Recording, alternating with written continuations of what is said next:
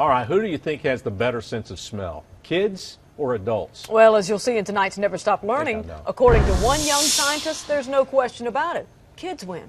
There you go. So their hypothesis, I think the kids will identify the fruits better because they have not used their nose as much as an adult has. Makes sense to me. It does. We Yeah. overuse our sniffers. That's the topic of one student's science project. The younger students are touring the gym at Hillandale Elementary School, checking out the 80 projects on display.